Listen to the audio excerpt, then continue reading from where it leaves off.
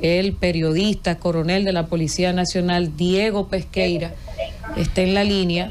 Y qué bueno volver a hablar con usted, mi querido Diego. Gracias, gracias, gracias. Un placer, iluminada. Saludos especiales para el colega Juan Reyes, para el más informado, Joselito, para el hermano Lima, para el maestro Héctor Rodríguez Pimentel y para una estrella, Nilda que fuerte abrazo para cada uno de ustedes. Le faltó Fausto Montes de Oca, mi querido. es que lo está viendo por la pantalla y no lo vio aquí, a Fausto. Una falta personal. Esta es la quinta y tiro libre entonces. Ordene, comando. Diego. Amén. Diego, qué bueno ya eh, contar con, con su presencia otra vez al frente de la Dirección de Comunicaciones y para muestra que usted está ya hoy compartiendo estos minutos con referencia a la posición, al posicionamiento de Roberto Nivar, que va a sustituir a María Isabel Gil Morales en la dirección de la cárcel de la Victoria.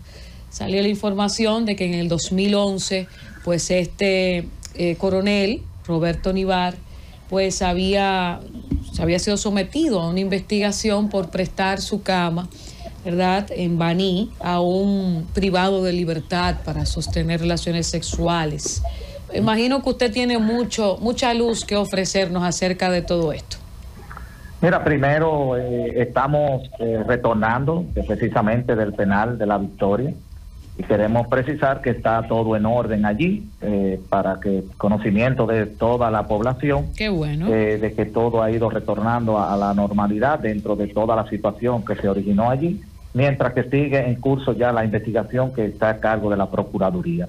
Y precisamente quiero arrojar un poquito eh, de, información en torno a, este tema, y es que ciertamente en el año 2011 el coronel Roberto Nivar eh, recibió una sanción disciplinaria eh, debido a que en ese momento se entendió que actuó con negligencia eh, ya que estando él de libertad, o sea, él no estaba en sus funciones habituales, estaba de permiso, y así está en el expediente que hemos visto y analizado, eh, y o alguien de allá del penal utilizó la llave de un área de él para un aspecto, un asunto inadecuado al cual usted hizo referencia. Este caso se registró un día jueves del año 2011 y la sanción es por actuar con negligencia en el desempeño de sus funciones. Es bueno precisar que en la época estaba en vigencia la pasada ley 9604, no la que tenemos en la actualidad, donde nosotros los agentes policiales disfrutamos de más garantía en cuanto a apelar y en cuanto a ir a distintas áreas a, a discutir cualquier tema relativo a sanciones y demás. O sea que queríamos informar que tal y como ustedes lo, dieron a conocer en primicia, como siempre, ciertamente ocurrió el tema, había un pequeño desliz o, en cuanto a la información, ya que él no estaba presente en ese cuando ocurrió ese evento, ni fue que prestó eh, dicha llave, de acuerdo a lo que fue esa investigación que reiteramos ocurrió hace 14 años, en el año 2011. Cualquier pregunta, estoy a sus órdenes. Diego, eso quiere decir que el señor Roberto Nival asumirá o ya asumió el tema de la victoria y qué se está haciendo nuevo para garantizar la seguridad, porque en la victoria, además del incendio, se afectó una estructura que tomará tiempo repararla, si es que se, puede, se va a reparar. Mira, eh, desde ya se está trabajando. Allí la seguridad ha sido reforzada. Eh, toda la periferia de la Victoria eh, tiene un cordón por parte de las fuerzas especiales para prevenir cualquier cosa y el coronel Nivar y otro grupo de oficiales están trabajando en cuanto a lo que es restablecer el orden que debe de existir allí en este penal, que dicho sea de paso, ustedes lo conocen muy bien. estamos hablando de una cantidad eh, de, personas privadas de libertad allí y que es bastante delicado el tema. No obstante, conociendo esta situación, se está trabajando con los protocolos existentes y esperamos que se mantenga el clima de paz que ha estado existiendo en, las pasadas horas. Ahí, abusando un poco de ti, del equipo, eh, la función que se le ha asignado a eh, la señora Gil Morales, ¿hay de funciones o todavía está a la espera de una definición del alto mando? No, no, ya ella está en funciones en un área de la institución del orden, eh, lo dimos a conocer en el día de ayer, eh, en una información que pasamos a todos los medios, si me permiten, puedo buscarla y de manera específica le puedo decir cuál es la, la función que ella tiene en la, en la actualidad, Eh, pero está comandando un dignatarios. departamento De de, la dignatarios. institución. Sí, de dignatarios. De dignatario. ¿Fue ella la que Sí, en el área de dignatario.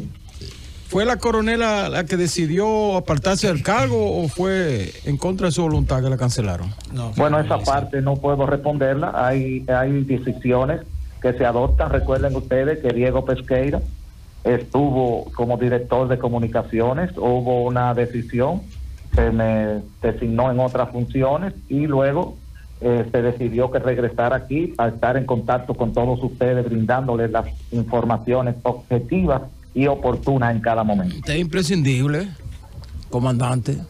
Estamos a sus órdenes para cualquier otra inquietud. Nos hacía falta, Diego, usted por aquí. ¿Tenemos más preguntas? Sí, Diego, eh, una pregunta.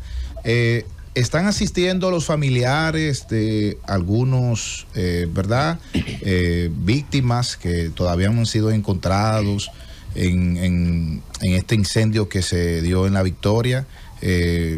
Eh, eh, se- ¿Hay asistencia permanente de esos familiares? Eh, claro que sí, ya la Procuraduría General de la República eh, ha- ha- se ha pronunciado al respecto y se ha diseñado todo un protocolo para mantener a, a los familiares de estos internos debidamente informados sobre cada uno de los procesos.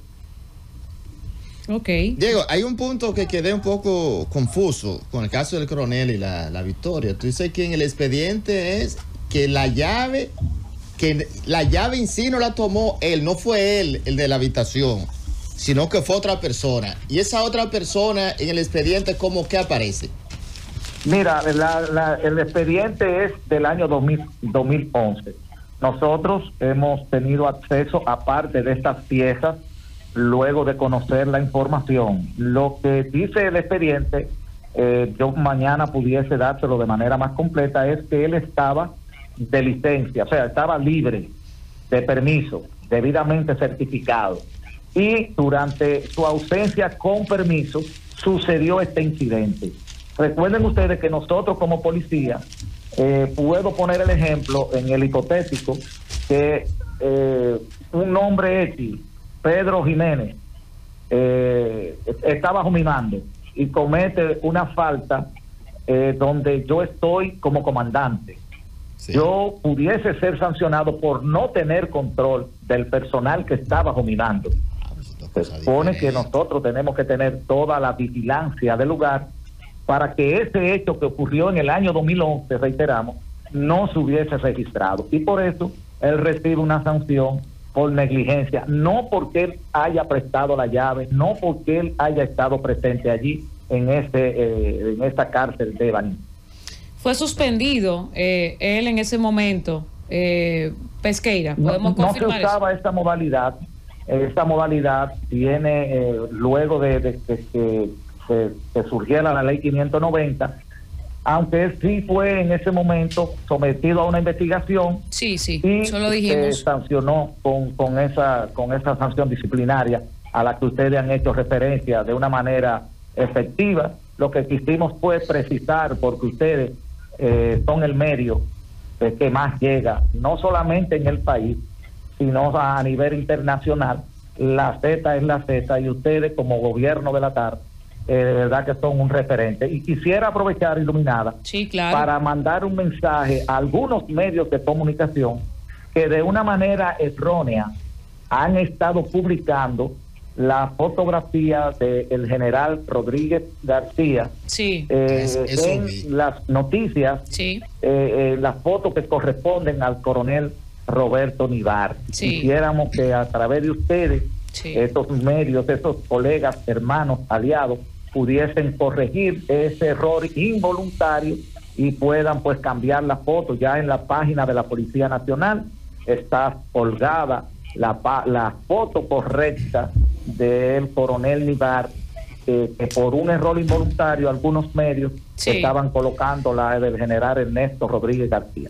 Acabo de verla hace unos minutos. Sí, ustedes la- en la su Instagram han estado haciendo la- el, el llamado importante. Gracias a nuestro queridísimo Diego Pesqueira, excelente periodista, coronel de la Policía Nacional, quien está a cargo, ¿verdad?, del Departamento de Comunicaciones y que lo hace de una manera extraordinaria. Eh, eh, mi querido Pesqueira, gracias. Vamos a hacerle el llamado a los diferentes medios a que se den una vueltecita por el Instagram de la Policía Nacional, que ahí está colgada la foto que corresponde al coronel Roberto Nivar, porque han estado colocando otra que no es esa, ¿verdad, mi querido Pesqueira? ah, La general. Rodríguez en lugar de mi barrio. Yo me imagino que el general no vio eso. Espérate. ¿Qué es lo que está pasando? Estoy metido en un lío ahora. No, no, pero bueno, lo, lo están nombrando, en la- lo están nombrando eh, como director de, de, de la Victoria, lo único que es con la cara, no con el nombre. Sí. Sí, pero también lo estaban colocando con el tema de la, la, la- la sanción disciplinaria. Ay, Son ay, dos cosas. Sí, y con un expediente totalmente... Hay que tener cuidado, pero gracias a Diego Pesqueira que nos ha dado información importante